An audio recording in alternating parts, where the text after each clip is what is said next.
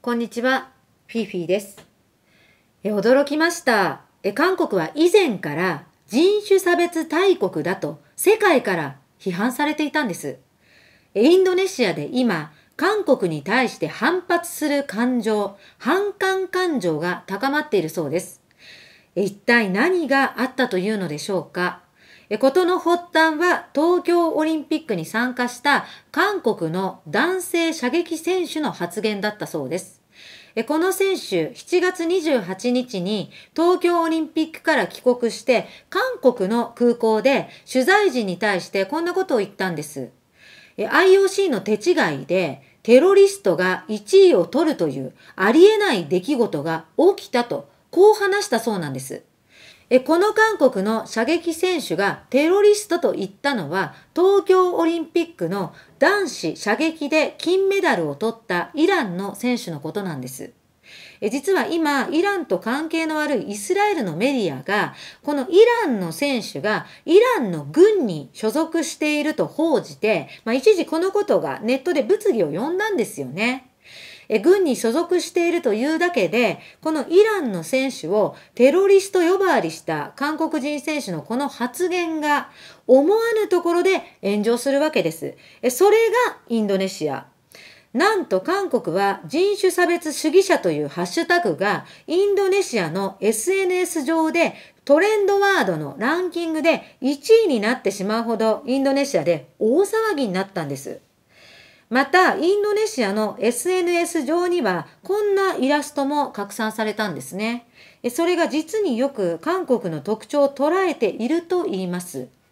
え韓国人は欧米人の前ではアジアヘイトをやめてくれと訴えておきながら東南アジアなどの国民に対してはまるで奴隷のように見下すと、まあ、つまりこうした韓国の二面性を批判するイラストが SNS に出回ったわけです。ただ今回のインドネシアでの反感感情はどうやらこのイランの選手に対する侮辱的な発言だけが、まあ、その理由ではないようなんです。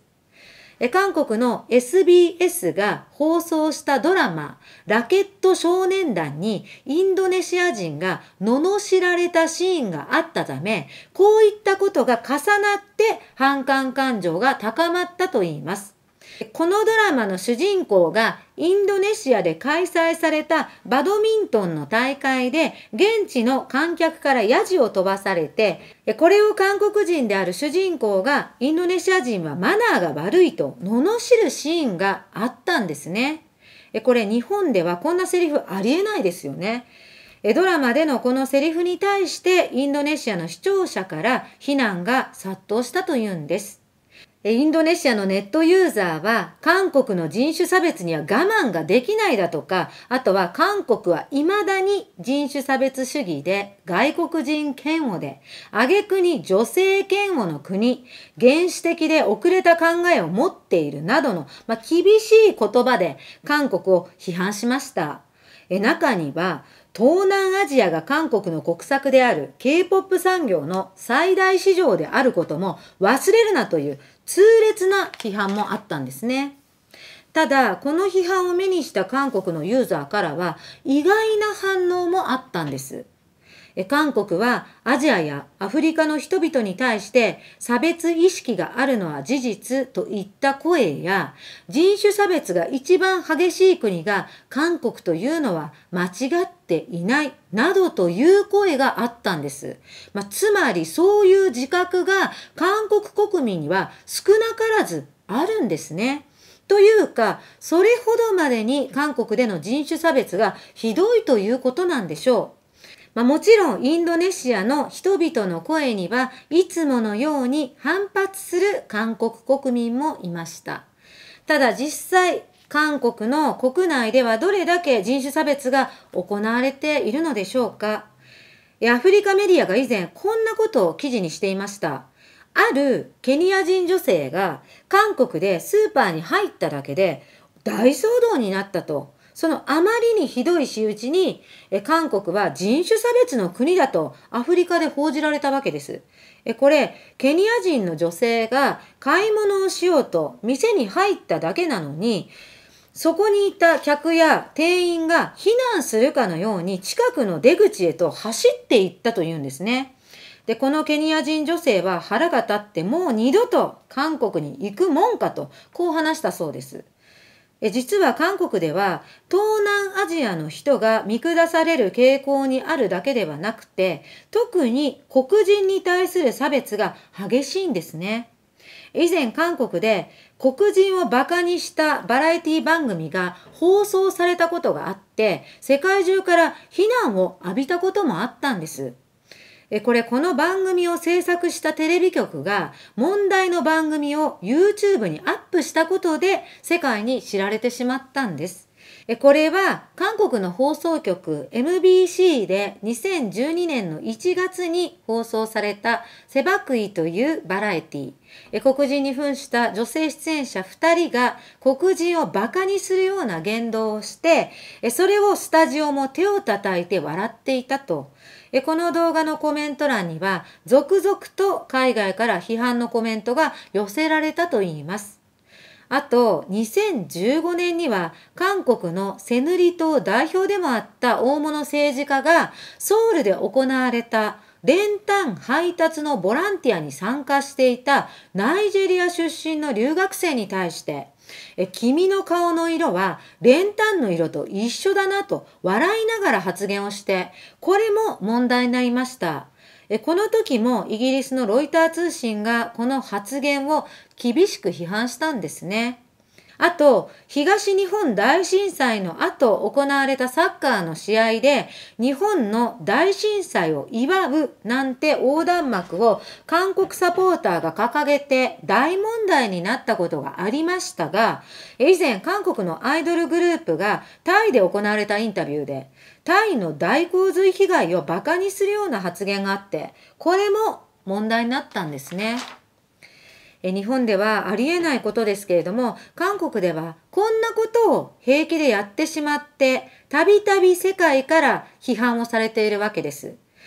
でもなぜこれほどまでに韓国では人種差別が常態化しているのでしょうかえまずもともと韓国は上下関係をはっきりさせたがりますから。で、その中で優劣をつけたがるんですね。そして相手が自分より下だと判断すれば、下の人間を平気でけなす、まあ、つまらないマウントを取りたがるわけです。これが韓国人同士だけではなくて、外国人にも平気で行われているということなんですね。韓国では今、外国人労働者などの移民も増えているんですが、彼らを特に下に見る傾向があるわけです。また、単純に黒人に対しては肌の色を馬鹿にすることが多いと言います。韓国国民は容姿に対するコンプレックスがとても高い分、他人の容姿に対しても敏感なようなんです。韓国の野球球団、ロッテジャイアンツに所属する黒人投手に対して相手チームの韓国人選手が肌が黒くてボールが見えづらいなんて発言したこともありました。またエボラがアフリカで流行した時もアフリカ人お断りと張り紙をした韓国の飲食店があって、これもアメリカのウォールストリートジャーナルが批判をしていました。まずそもそもこうしたことを平気でやってしまうような国が先進国と言えるのでしょうか？先進国であるかどうかというのは何も経済力だけではありません。こういった人権思想に基づく民主的な価値観が尊重される、守られる国でなければ先進国だなんて言えないんです。え韓国は異質なものを排除しようとか、え自分より下と思えば馬鹿にしても良いだなんていう非寛容的で差別的な意識が社会の中にあるわけですね。こうした韓国で行われている人種差別の現状を重く見て、2014年9月には国連が調査員を派遣して実態調査も行ったといいます。えちなみに2019年には韓国で外国人移民を対象に人種差別が存在するかなどの調査も行われました。その結果7割近くの外国人移民が差別があると答えたんですね。その中には悪口だったり、あとはセクハラを受けたとか、しかもその多くが裁判所や仕事先、出入国のオフィスなどで受けたというから驚きなんです。まあ、韓国では韓国人と移民との間に身分の違いがあるという考えを持っている人が多いと言いますし、それが人種差別を助長している背景なんでしょう。韓国は過剰に自分たちに対する差別には反応する割に、まあ、東南アジアや黒人に対しては平気で差別をしていたわけですよね。さて、ここまでお話ししてきましたが、皆さんはどう感じになりましたか？コメント欄にどんどんご意見をお寄せください。そして、フィーフィーチャンネルの登録もお願いします。